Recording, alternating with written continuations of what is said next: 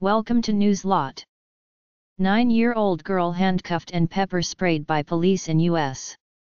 Videos captured by policeman's body camera have been released, showing a nine-year-old girl being handcuffed and put in the back of a patrol car in the U.S. The video also showed an officer pepper spraying the girl after she didn't follow commands to put her feet inside the car. The police officers were responding to a report of family trouble. Thank you for watching Newslot. Goodbye.